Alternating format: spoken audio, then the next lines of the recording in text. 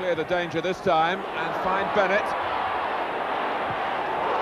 Now Barrick has got some room to work in here. He's delivered the cross early. Palmer, Bennett pulling out to the right. Owen is the defender. And Bennett gets a cross in, Hirst! Well, this match has all the feelings of a cup tie and really even more immediacy. Middlesbrough have to win, there are no replays for them. And Wednesday, after that terrible disappointment here against West Ham, will want to get their act back together very quickly. We've still got Norwich City to come here, of course. This is Davenport for Middlesbrough. And Dean Barrick, who's probably had more first-team games than he would have expected over the latter half of the season. Where he's back there helping out. And kept his hand away from the ball too.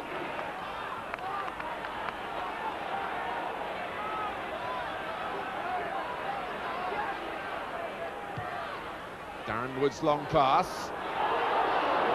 Skipped on to the goalkeeper away from Whitton. And every time the ball gets close to goal, there's a real roar of hope from the Hillsborough fans. No joy for them this time.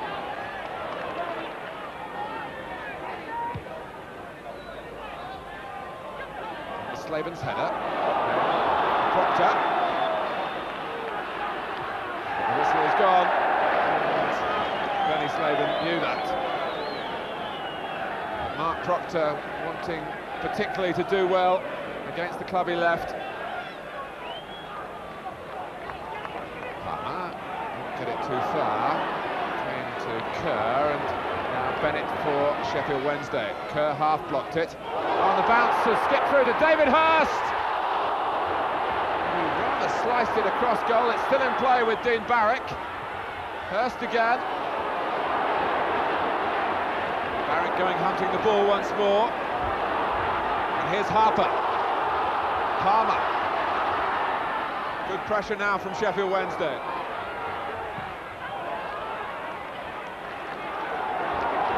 Proctor halting that attempt by Palmer to get round the back. And Middlesbrough looking for a way forward now. Owen. Kerr.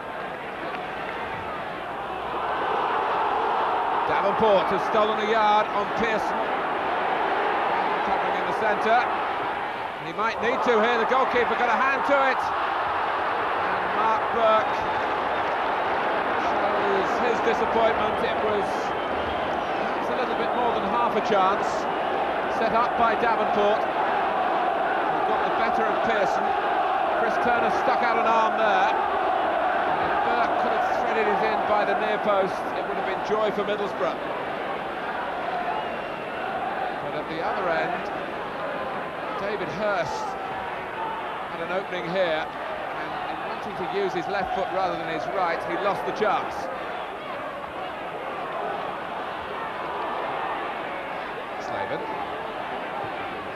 Proctor trying to get to his feet, Slaven was weaving past him.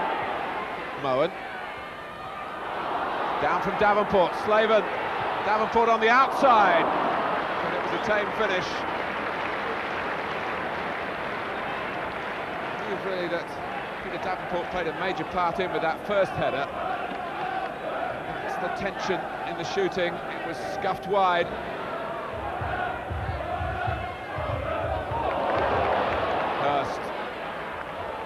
Much admired by other First Division managers. And Bennett.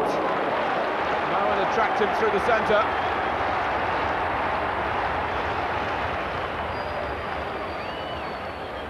Sheffield Wednesday have a corner. Harper chugging across to take it. The difference a goal would make.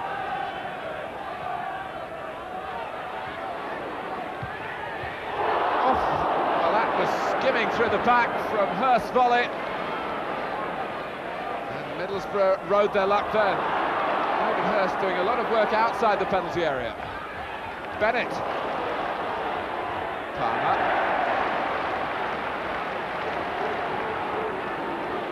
Middlesbrough must have thought they'd cleared the danger here, but David Hirst really connected, and a body fell in the way. It was Peter Davenport. Kerr. Mohan.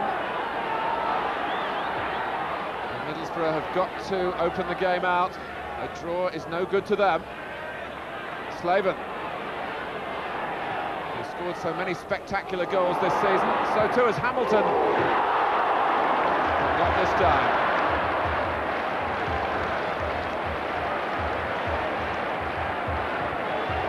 Gary Hamilton taking it on the volley.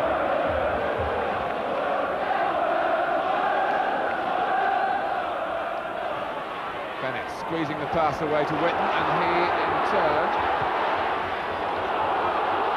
It's Palmer breaking through the centre, and he became the filling in the sandwich, but there's no penalty, not even an indirect free kick. To the relief of Middlesbrough and the frustration of Sheffield Wednesday. Here's Harper. Bennett. It was an awkward one for Hirst, but the control was superb. Oh, and it nearly beamed inside that far post. They're appealing for a corner, Sheffield Wednesday, and they've got it. And David Hirst with the original cross shot here. Poole pushed it out, and Kernaghan couldn't prevent it crossing the line.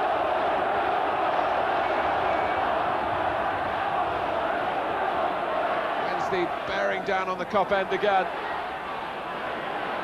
Just his header out. Palmer. And Proctor. One of the players that the club have let go against Carlton Palmer, one of the Ron Atkinson signings. A duel that produces another corner to Sheffield Wednesday. So many years in the wilderness. They nearly dropped into the fourth division, remember. They're proud of their first division status back again, and they don't want to lose it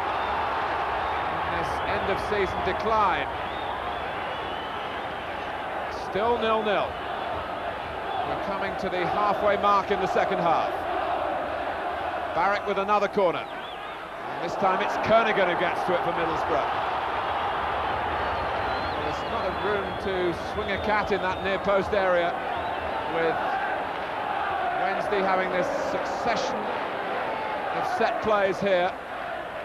A little deeper this time, and it's a corner again.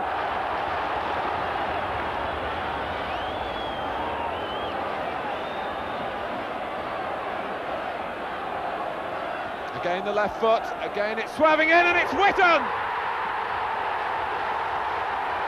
A crucial goal for Sheffield Wednesday. Delight mixed with relief for the Wednesday fans. This is a terrible moment for Middlesbrough.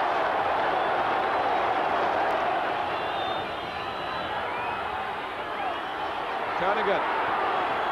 Back for Hamilton. Whitman Barrick try and prevent the cross, and they've done just that.